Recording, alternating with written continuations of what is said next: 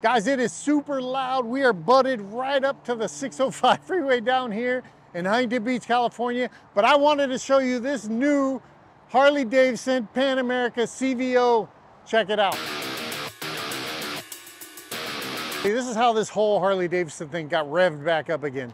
Uh, I've been riding for a long time. I think my first motorcycle was back ah, decades ago. We have been building Jeeps and we have this new Sprinter van that we built out and we travel everywhere. And right next door to the Harley Davidson dealership here in Huntington Beach is a company called Van Speed. Van Speed builds out vans and we were down there at one of their uh, morning events just kind of hanging and my wife decided she wanted to come and check out the motorcycles at Harley Davidson while I was at the event. So whatever, I stayed there. She came over here and she ended up buying herself a 2022 883 iron. After that crazy irresponsible purchase, we decided that I should probably get a bike too so we could ride together. So I came down, I picked myself out a 2023 Harley Davidson Pan America Special in the yellow, which I really love a lot. And that started the rebirth of our Harley Davidson journey. So I've actually bought four motorcycles from this Harley Davidson Huntington Beach store. Uh, I have a friend that works here and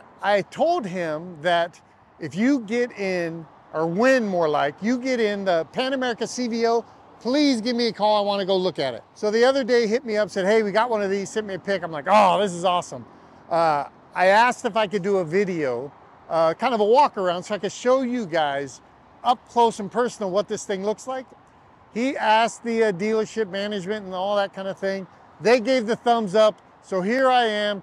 Let's check out this bike. Harley Davidson is celebrating the 25th anniversary of the CVO. So they released a bunch of CVO model bikes. And fortunately for us, the Pan America was one of them. Okay, so what exactly separates the Harley Davidson Pan America CVO edition from the 1250 Special? Starting with the tip of the bike, we have a 25th anniversary CVO badge this thing is under the clear, so it is there forever. As the bike ages, this badge will become cooler and cooler.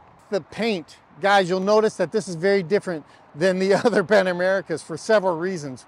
One, it's this very cool metallic black that really pops in the sun, but the orange that they use for their CVO celebration color is amazing. It is very deep orange, but very, very vibrant still. Another cool thing that Harley did is they put this number one logo on the bike. This is kind of a cool retro throwback logo. I hope to see it on every piece of merch that they make this year. The entire frame, the crash bars, are all powder coated to match that deep orange of the logo and the theme of the bike. One of the reasons why I like the Pan America over other adventure bikes is the look, the design, the aesthetics. It's very mean looking, it's very beefy and, and bold. It doesn't look like the other ones. This CVO model has absolutely everything that you need to add to your Pan America Special. Starting in the front, you have the off-road lights with a radiator guard. You have the beefed up skid plate down below. You'll notice the crash bars up front as well as the crash bar for the tailpipe. And it comes loaded up with luggage. Going with the theme of the color, you'll notice that all the end caps on the motor are also trimmed out with that bright orange pinstriping. When you come to the top of the gas tank, you have that carbon fiber inlay with the 25th anniversary badge right there embedded in it, as well as CVO grips. The seat on this bike is also upgraded. It comes with a little bit of contrast stitching uh, and that orange pinstriping along the side, as well as a nice pattern across the top of the seat. When it comes to luggage for motorcycles, the adventure bike class has a very distinctive look on their luggage. They use these aluminum boxes usually, and they're finished off very, honestly, they're very chunky and bulky but that look is actually amazing on the adventure bike. I'm very happy to see that Harley Davidson just kind of carried that theme to their adventure bike when they made their own luggage of course, this one is branded CVO. You really have to have all the protection you could get on your motorcycle that protects you and the bike. You need to have your skid plates. You need to protect that radiator if it's wide open like that. You need to get your hand guards up. You need to protect the tip of your exhaust. You need to protect all of the, the frame with the crash bars and even the luggage um, mounts work great to protect the motorcycle when you crash if you didn't have the luggage on.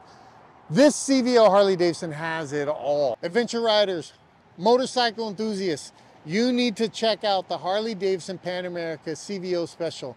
This thing has everything you would want on it from start to finish.